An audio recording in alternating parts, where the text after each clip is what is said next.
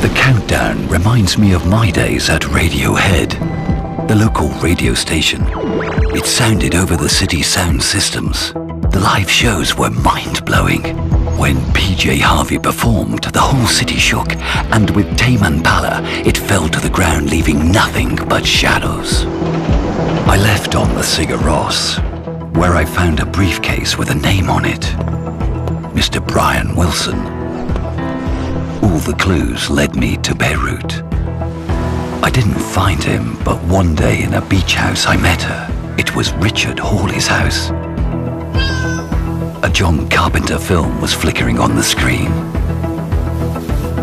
We were drawn to each other like animals, and our bodies intertwined, producing explosions in the sky, which set us free as floating points, minute weightless particles suspended in the air. She seemed a moderate type of girl. Her skin was as smooth as suede, but she was wild, like a Vince Staples song. For me, she was pure venom. We were on a chairlift going towards a volcano. Our love vanished like the dinosaurs, and I went crazy and exploded like the lyrics of Action Bronson.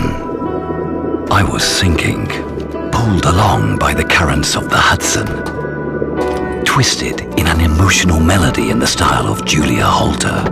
I wandered around the world as if I were mad, with no direction, driving like Jehu. Until one day a deer looked me straight in the eye. At that moment, everything became clear. I still have a lot to live for.